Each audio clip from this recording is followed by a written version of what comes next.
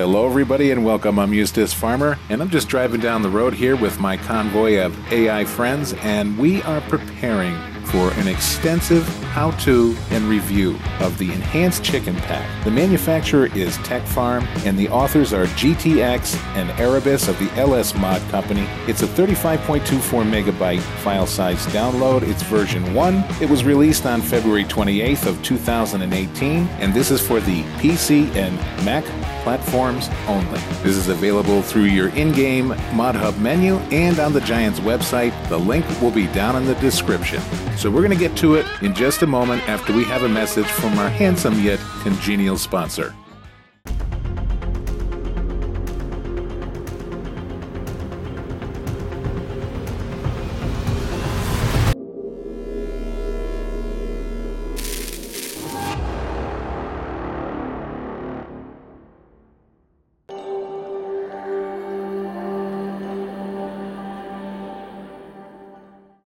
All right, so why do I think this mod is so great? The first reason is because it restores a functionality that was lost in Farming Simulator 17 that we had in previous versions of Farming Simulator. You can do more than just pick up eggs out of the grass and watch the chickens pick about their daily lives. So, during my testing, I did find a couple little picayune things that kind of motivated me to make this video because it took me a little while to kind of figure this out and it has to do with the straw bales. Of course, in Farming Simulator, when there's shenanigans, 7 out of 10 times, it's the bales. but aside from that, this mod has no errors whatsoever. It runs perfectly. I just think the um, straw triggers need a little bit of tweaking, and that's pretty much about it. But I'm going to show you what I mean because we're going to put one version of the uh, the chicken coop down on this map, and then I have another save, and we will go in and do the other version as well. So let's go ahead and jump into the shop. Starting at the top from the left to the right, those five items are in the placeable section of your mod menu. The four trailers on the bottom are in the animals section of your mod menu. Now, again, going back to the top from left to right, the open chicken pen, that's $10,000. That one is designed to straddle an existing chicken coop that's already been laid out in your map. Um, so the feeding troughs will go within the pen, and the triggers will stick out beyond the fence line so you can get to them and feed water and straw your chickens. The second one, the fenced chicken pen, that's $14,000. That's designed to be placed anywhere on the map you want. If you don't have enough room to straddle the fence in your chicken coop or whatever the case may be, you can plunk that down someplace else and you'll be able to enjoy the functionality of this mod. However, when you're in the standard egg laying mode, you'll have to go back to the original chicken location to pick up your eggs, and that holds true when you're uh, picking up the chickens for breeding as well. So if you're going to go sell them, they're going to appear back in the pen. And I'm going to show you how all this works anyway. Now, to load and unload your chickens, you have the chicken farm delivery sign. That doesn't cost you anything, zero dollars.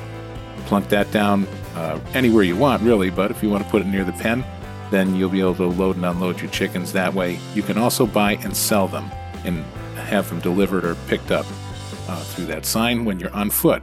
When you're in a trailer, it's going to come up with load and unload. All right, so the last two on the right the chicken dealer and the chicken dealer trigger option. Those are both, again, $0, and they both perform identically. It's just up to you uh, which one you would want. If you want to have a standalone building, you can put that down someplace. If you wanted to, say, take the trigger and put it down at the animal market that's already uh, part of your map, then you can have that trigger down there as well, or wherever you want it. So you can just buy and sell with those particular items. You can't load and unload. All right, so the four trailers on the bottom. The two on the left are the standard editions, and then you have the two on the right, which are special black editions. Between all four trailers, there's no difference in functionality. The, both the Joskins and both the semi versions function the same exact way, same capacity, and same price and everything. So the two Joskins are 24,000, the two semi versions are 67,000. When you go to download the placeable portion of the pack, these will automatically download with them as well. You will need these trailers because they are specially scripted to carry the chickens. So without these trailers, you won't be able to move your chickens on the road. You can still buy and sell, you know, for a fee remotely, but if you want to move the chickens, you need these trailers. And these trailers also pick up all the other standard animals as well. All right, so first things first, let's go ahead and buy us a bunch of chickens. I'm going to get a thousand. That way we have enough room to do what we got to do. And there's another reason, and I'll tell you as we go through the video. But one thing you may notice or not have noticed is I'm running Seasons Mod. And chickens are not written into Seasons Mod. So the chickens' breeding cycles are not affected, nor is their um, sale prices or their egg laying and sale prices. So now we just walk up to this area where the triggers are, and you're going to press M as in Mary on your keyboard, and this little menu will come up, and you're going to see a list of options in how to handle your chicken. You can lay eggs standard, which means that they're just going to appear in the grass. You pick them up like an Easter egg hunt. Chicken breeding mode, where you will make chickens from the eggs and not food. and then lay eggs in basket. That means that the eggs will be auto collected and put in that little wash tub inside the chicken coop. Now we're going to be using um, breed chickens for this particular portion, but up here you can see it tells you wheat, barley, or corn is what you can feed them. Water, the straw is only for breeding, so if you're not breeding, you don't need to put straw. And then it gives you the overall health of the chickens and how many eggs are in the coop, which is on the ground or in the basket. And it tells you how many chickens you own. And then where it says next chicken in, it gives you a time frame. I find that this time frame doesn't match up with the in-game clock. Um, when I speed up time, you know, sometimes I'll have a chicken in 15 minutes, but this will say an hour.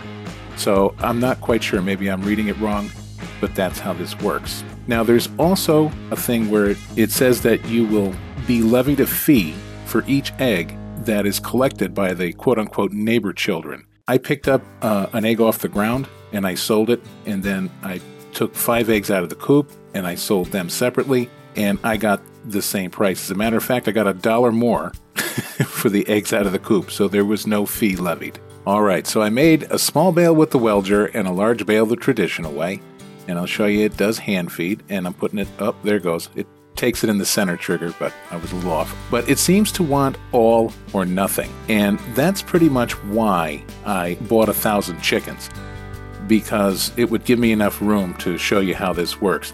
If you have just a few little chickens, it may not take the bale at all because it wants the entire 4,000 units, but the chickens don't need the 4,000. Now, I've been able to top it off with the uh, straw blower, but again, that can be a little persnickety to catch the trigger the right way. Sometimes it'll blow it in, other times it'll just snatch the bale right out of the machine without blowing it. It all depends on how much they need. So you can load your straw in with a shovel, but you're not going to see a trigger because it's the shovel. And you can do your straw on a trailer as well. This does not accept pellets from the Straw Harvest DLC. Straw blowers and bale trailers in-game and modded, not a problem with a little work. Barley, wheat, or corn for the feed, and don't forget to give them a drink of water. If you walk up to the chicken sign on foot, you'll be able to buy and sell your chickens just like you would with any other animal loading zone. But if you pull up in any one of the trailers in the pack, then you're going to get the load or unload symbol. So the chicken dealer, which you see in the frame on the left, and the chicken dealer trigger option, which you see over on the right, they function identically. Just like the animal market in game, only they deal specifically with the chickens. So you'd be able to buy and sell your chickens from either one of those points. It's just your personal preference which one you would like to put down so you can open and close the doors on these awesome modded chicken trailers. And you can even go inside and walk around if you're curious. the vents on the side will open along with the roof raising up automatically when you load in the animals. When you walk around the back of the truck with the doors closed, you're going to encounter a little black plate with a bunch of white gibberish on it. Well, it's not broken. When you enter the menu in there via your F1 menu on your screen, you can customize yourself a license plate. And then when you're all done, you just hit the green check mark and voila. It'll come out just like you see in my photo on the bottom portion of the screen. So the truck or lorry version of these trailers holds 42 pigs, 28 cattle, 48 sheep, and 180 chickens. And right below that, I added in a nice little flattering photo of the cows inside the trailer for you.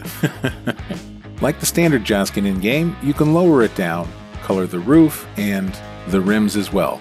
And this little cream puff holds 9 pigs, 6 cattle, 10 sheep, and 50 chickens.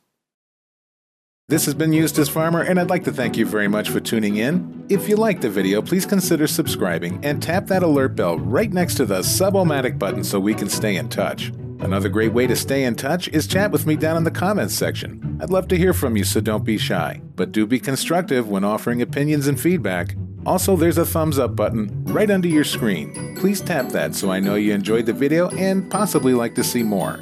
If you didn't like the video or me personally, well, there's another button with a thumb pointing down.